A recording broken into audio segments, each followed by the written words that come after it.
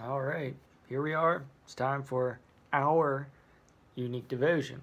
So, today, the question ends up being there was a few things that stood out, but I ended up going with one question. Um, so, today we are in Colossians, uh, the book of Colossians, chapter 1. I'm going to read verses 19 uh, through 23. This is entitled Reconciled in Christ. Now, if you remember uh, yesterday, and if you didn't see yesterday's video, I encourage you to go back and watch that one. Um, we talked about the, well, I, I came up with a word in the middle of it, a, a phrase in the middle of it called the all factor, um, and the, the, importance of the word all. Um, how how God is in all things and through all things. He is in the invis all invisible things. He's in all visible things um, and that includes you. Um, so I encourage you go back and rewatch that video. If you did watch it yesterday, I really hope you went a little deeper with that and maybe even had an aha moment and like totally or at the most completely blew your mind um, and opened your eyes and your mind and your heart and your soul to something bigger and, and newer in the way of being able to connect with God um, and not feeling like he's so far away, but knowing that he's right here. So, anyway, important part is the scripture. so, let me get right to that. Here we go. For it pleased the Father that in him all the fullness should dwell, and in him to reconcile all things to himself. There's that word all again. By him whether things on earth or living in heaven, having made peace through the blood of his cross. And you, who once were alienated and enemies in your mind by wicked works, yet now he has reconciled in the body of his flesh through death, to present you holy, blameless, and above reproach in his sight if indeed you continue in the faith, grounded and steadfast, and are not moved away from the hope of the gospel which you heard, which was preached to every creature under heaven, of which I, Paul, became a minister. so that's the scripture. Um, yeah, so some things stood out. Let's ride this thought train. Um, yesterday, when I talked about the word all, here it is again. He says, um, and by him to reconcile all things to himself. Um, there's a bit of a complicated thought process here, but he wants us to be reconciled. He's done just about everything that he could possibly do, seemingly bad to good to bring us back into connection with Him. In the Old Testament, He's uh, talked to people, um, Himself coming and talking to people, um, Moses, Noah.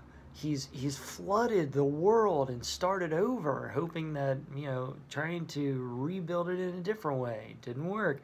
He was trying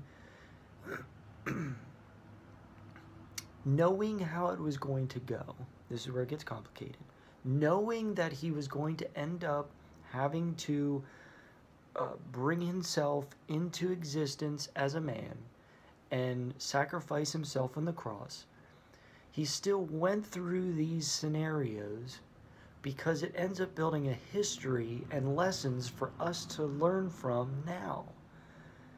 And throughout history, some people had some super, super hard lessons to learn, um, like, like the flood itself. But all things, in some form or fashion, excuse me, are to be brought through for him, for his sake.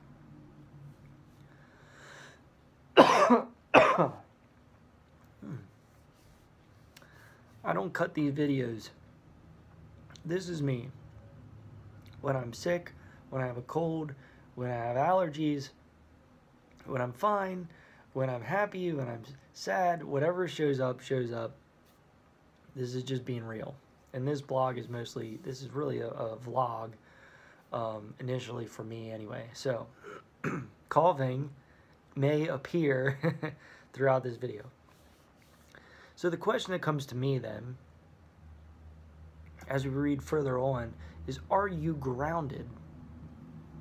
Yesterday's thought of all sort of takes our minds, you know, universal. It's like out and everywhere when you're thinking about that. But then here it, it talks about in faith being grounded and steadfast, not moved away from the hope of the gospel. so it's important for us to be able to take our mind, like yesterday, to deep, far off thought processes and that feeling of expanding. But it's also important to bring all that back and maybe even at the same time be grounded. Um, not letting things just toss around.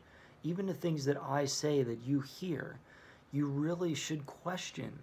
Not question whether I'm necessarily right or wrong and try to point out my wrongdoings or wrong sayings. More of question it so that you can go deeper with it. So that you can uh, okay so maybe I, I point out a word in scripture and I, I use it in the right context but there's a bit of a deeper meaning and you look up that word and you find the original language and you find that deeper that deeper meaning that deeper understanding and then you comment and you let me know and let us know about what you found now, that not isn't saying that I did it wrong.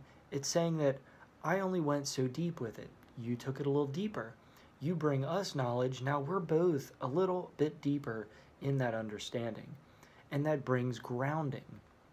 The more that we search for the correctness of what God is trying to get at, the more that we work towards um, those sorts of things, the better off we are. And the more grounded we become. Because when we're grounded, when we're solid, we tend to make better decisions. We tend to form stronger, deeper, better habits.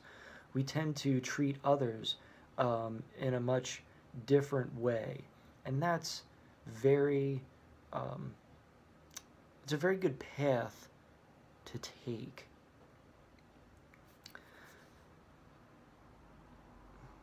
I thought there was something else here, but I'm not sure. Oh, yeah. Just before that part, it says, who once were alienated and enemies.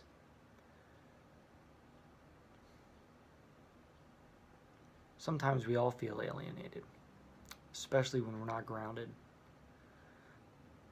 Sometimes we feel like there are enemies in the world, like people are out to get us, out against us. Why are they doing this? Why are they doing that? But that's not necessarily the case. We shouldn't feel like enemies. We shouldn't feel like we're alienated. We should feel grounded. And in that grounding, be we're able to